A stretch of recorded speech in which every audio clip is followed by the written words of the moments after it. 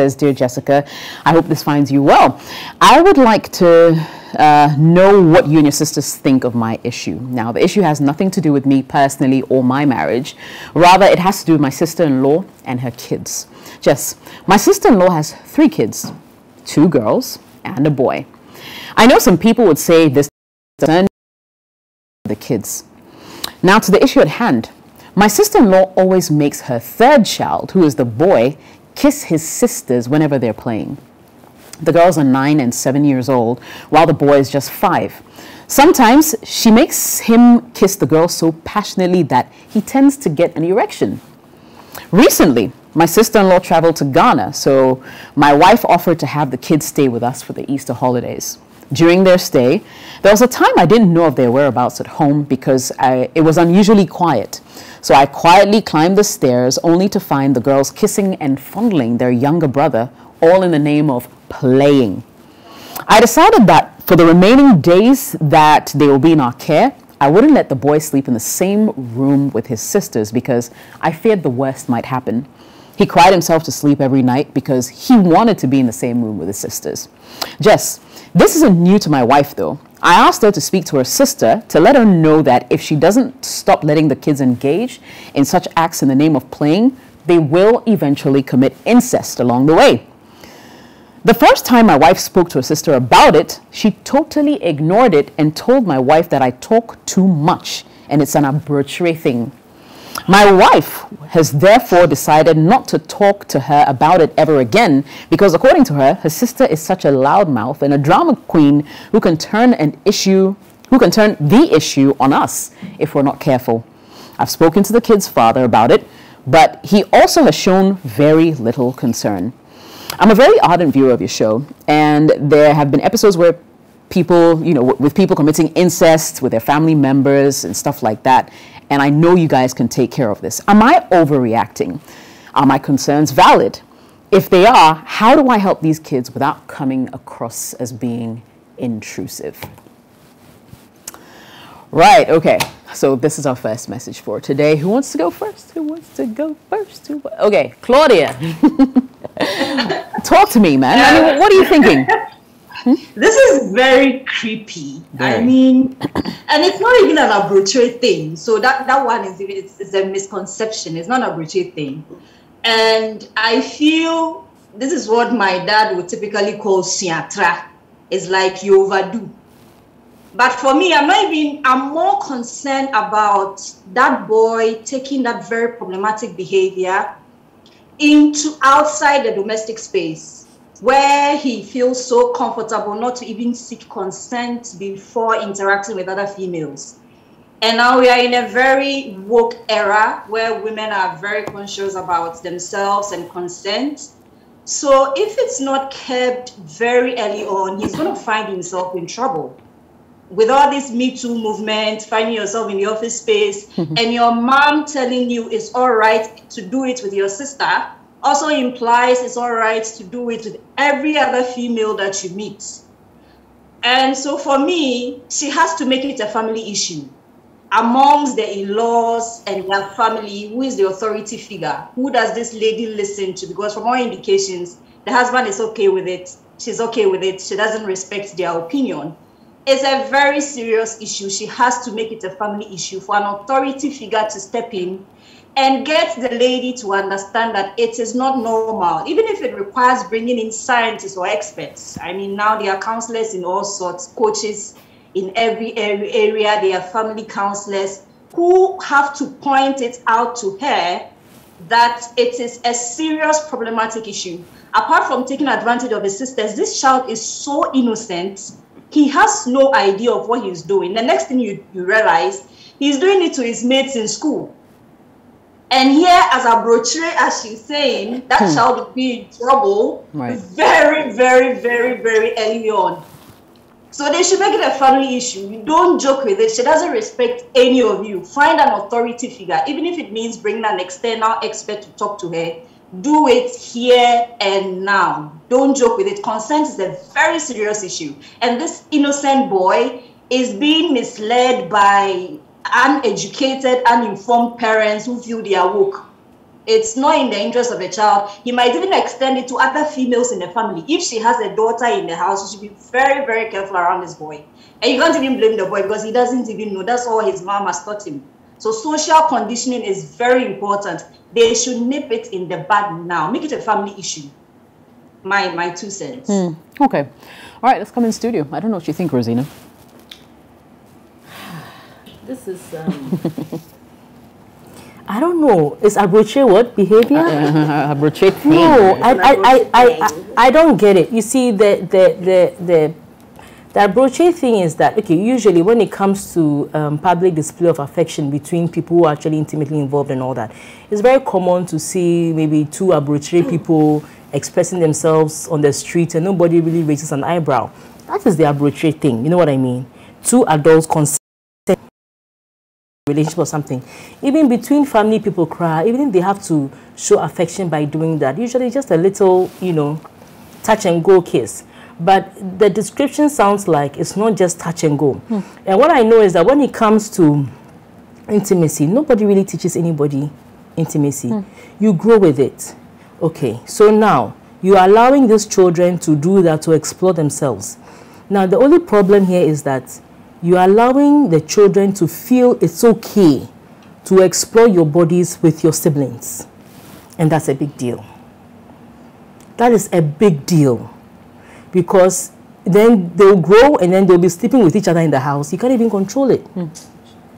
So it is a big deal. You're not making too much of a big deal out of it. It is a big deal. Mm. If I saw that, I'll be, I'll be, I'll be Concerned. really worried. Even me, when I, when, when I pick somebody else's baby or child, there's nothing that tells me to kiss that baby on the lip ever. Why?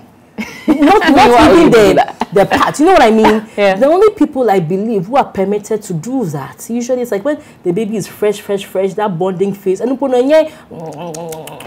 it's just like some touch and go something, not the no, yeah, I feel you. Yeah, you know what I mean? I feel you. So eh, for me, I think it's very disgusting to see. And I think that in this era where we are getting, it's becoming more and more difficult to control kids or to lead them the right way because of um, things they are seeing, the, the, the communities, how the community has just, you know, everybody's busy trying to look for money. There's really no order, there's no law and everything. I think the last thing you want to do is to start that kind of behavior from your home. So it is certainly not on. Now, um, I think that by your approach in just splitting them up, what happens is that you see, for a kid of that age who doesn't know what she's he's doing, at least the sisters who are about seven, mm. they can understand and listen to reason. Mm. I think that instead of just separating them, maybe you should have an opportunity to counsel them, sort of, like mm. talk to talk them, to them, sort yeah. of. Talk to them, let them understand what they are doing, the implications. Maybe let them understand, okay, it's okay to kiss somebody, but it, it has to be done in this context and not in this context. This is your brother. I mean, if this goes beyond hand, these are the consequences. These are the implications. The thing is that sometimes, as soon as kids begin to grow, they, and they actually understand you. Even Dante at four, I'm able to dialogue with him and he's able to understand me, come back and ask questions when he feels like he has a gray area. So it's an opportunity to educate them. So you could actually change that behavior without necessarily, without necessarily even talking to the sister-in-law, especially because you feel like the sister-in-law doesn't care, mm. the husband too doesn't care. For all you know, they are swingers. They mess around left, right, center. So from, for them, sleeping with anybody is not a big deal. You understand? So maybe this is what you should do, counsel them and let them understand the implications of what they are doing. And then maybe you would have caused a change in your own small way. But by all means, this is not something that you should play with. And I wouldn't want to entertain them around my children without um, supervision. Supervision. Mm. And whoever is taking care of them, I'll ensure that it won't be like, hey, Jaisa, Jaisa, Jaisa. No, no, not, not that kind of correction. It should be like, why are you doing this? So maybe the time that they're with you during the vacation, you should spend some time with the kids and try and counsel them mm. and try and win them off that behavior. They are young. So it's easier for them to change than when they are like 17, 18 years old. Right. That's what I think. It's not too late. I agree when you say that he can counsel them in his own small way, but they are on holidays. Mm, they're going to go back. Once, go yeah, once they go back home, it's factory going settings. to be back to factory settings because it looks like they've been doing it for a very long time.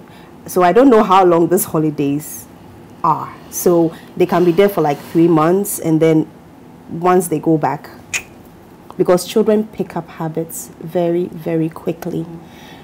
So for that span, I don't think they can easily be rid of that behavior that has been with them for so long. I don't think so. Mm.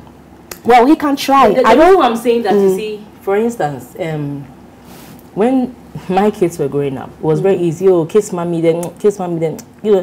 One day, Dante comes from home. Oh, Dante, kiss mommy. He said no. Right. Mm. Yeah, he said no. Yeah, he said no. He don't kiss me. I Why? mean. And it's not like the kind of kiss the guy is describing. It's mm -hmm. like the normal pet thing, like, oh, yeah. Dante, come, come, you don't kiss me. Mm. He said, no, he won't do it. Hey. He said, oh, my mouth will have saliva. I'll put saliva on his on his on his lips. my four-year-old does that. Yes, and, then, and then and then when yeah, and then him. Yes, and then and then when COVID was like, and then mm, mommy, yeah, even like his that. cheeks cry, he do this. Yeah, and even when the COVID yeah. started, then it was even worse. Uh, Dante kiss mommy coronavirus. Mm. you see, so all I'm saying is that look, mm. this guy has grown up almost every day with a kiss mommy like a tradition, sort of. But it's not a French kiss or anything, just like a normal person mm. on his cheek, yeah. on his forehead, his nose, you know, stuff like that. Mm-hmm. But now he goes to school one time, just for like a moment. He's educated about coronavirus, and he comes home. he doesn't kiss want to He doesn't want to do it. Yeah. He says he won't do it again. And it's so bad that look, I'm sure if his father decides to say that they kiss daddy, you're like, mm. Because he's, uh, for some reason, he's realized that you don't kiss men. Right. Yeah. So even the cheek one cry, if the father wants to even plant it, the way he be doing, like, mm, like get off Yeah, me. no, the liquor is like, mm. you know, so I think that mm-hmm. there's an opportunity for change. Mm. You see, children do by example, agreed. But sometimes it's a seed you can sow in a child, very young. Mm. And because the young, the, the child's mind is so fertile, so green, so open, it depends on how you sow it. Sow it. So even though you may think you have a limited time, three weeks, mm -hmm. you could actually sow a seed such that mm -hmm. it, would ring a bell in their heads mm -hmm. to know that this is a not not. Okay. So um, what I was also thinking was that um, because the kids are not yours, there's only so much you can yeah. do. There's only so much uh, intrusion that you can uh, indulge in. You see, because someone would think that after a certain point the kids are not yours so mind your business. But they're in my house. But they are yes of course but of course. If if they leave your house and they go back to their home they are no longer on your turf. Mm -hmm. true okay? But this is very serious and it shouldn't be taken for granted. So even if it means that it, it has to get to a point where the kids have to be taken away from them then i think it's it's plausible. Because um, it's not a healthy practice. Yeah, it's not. Definitely it is not. It like my my skin crept when you were you were, you were yeah. reading. Like I just could yeah. because even with my kids, when you know, children lo love to explore naturally. They love to touch this. They'll be touching that's all kinds learn, of things. Yeah. yeah. that's how they learn. Okay, they touch this. They are curious. They want to. They, you know, my my my kid brother intentionally drops things because he wants he wants to know what is inside it. Mm. Okay, very curious. So, um, like you rightly said, they are curious. The mind is green. So um, the approach is very important. How he's going to approach it, not the you know the beating and you know at some yeah. point they get conditions to the, they get conditioned to the beating, and now Charlie they become odeshi. Uh -huh. yeah. So the approach is very important. You, you guys have touched on a lot, so I don't want mm. to hmm. repeat what you have said. Yeah. So the approach is very important. He has to be as tactful as possible because mm. the kids are not his. They are his sisters, or is right. it the brothers? Yeah. okay, his but wife's yeah, sisters. Yeah. Yeah. So he has to be very tactful about the approach. Cool. And hopefully, hopefully, they'll be able to, you know, uh, steer the children in a in a in a better direction because this not good. No, no, no. All right. Not good. Let me let me just go back to the message here for a second. Are you overreacting? No. No. Are your concerns valid? Yes. If they are, how do I help these kids without coming across as intrusive? Here's my take. Sometimes you have to come across as intrusive if you really can, especially in a situation where the parents are not budging, like they don't see anything wrong with it. Um, you have to be nosy. Unless, of course, you really genuinely do not care about the, you know, the, the outcome um, in the future. And I believe you do. Reason why you're even concerned right now. Um, I think, yes, definitely try your best. Do the whole, try and draw the kids in, let them know, ah, this is bad. You can't touch your brothers. Eh, whatever, eh, lolo, whatever. you know, do that, definitely. But also have a word with the parents and let them know that, Charlie, guys. I mean, I, I'm not trying to tell you guys how to raise your kids but this is like this is an issue for concern and it, you need to look at it before it gets out of hand. And try and let them see reason. If that doesn't work well what else can you do? Really what can you do? So i mean i wish you the best of luck with that. It's pretty tricky. Um, do write back to the show and let us know you know how things pan out. Says uh, i feel for these kids. My dear, you're not overreacting at all, but you will surely be vindicated one day. I hope the kids will stay a little longer at your place so you can help matters a bit. Abena says, hearing the story makes me feel very sad. Please talk to your brother if possible. Let the boy stay with you and your wife for some time. Otherwise, one day you shall be, you shall find them in the act. Nikki says, Mama need that thing where they talk I'm like that. That practice is a natural thing, oh. but you have to discipline them if you find them in the act. Did any of us play Mama Ni Dada? Did you? I was always the child because ah, you were the baby, I, I so you very, never had any of the petite. so they'll tell me that oh, Mama Ni Dada will fear. Ah, I thought I was playing Mama Ni Dada until I realized that there was there was, there was more a, serious version.